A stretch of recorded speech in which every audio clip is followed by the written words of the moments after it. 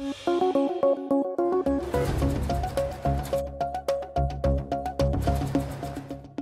want you to think about something. Travel is an unnatural act. For the last 200,000 years, we've been hunter gatherers, and for the last 200, we've been modern tourists. We're not opening any new trade routes, and we're not fighting religious holy wars. We're just going from place to place, hotel room to hotel room. But what do we do when we get there? What do we see?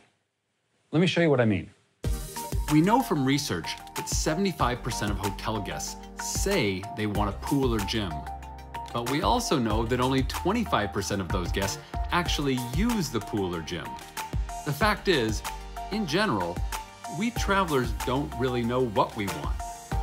Mostly what we do is wander around and look at stuff that looks or sounds vaguely appealing. But we're still hardwired for hunting and gathering.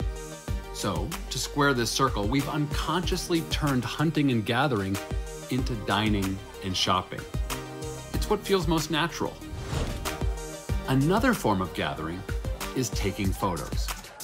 Some people may even think of the tourist snapshot as some form of trophy collecting, and people have plenty of ways of doing it.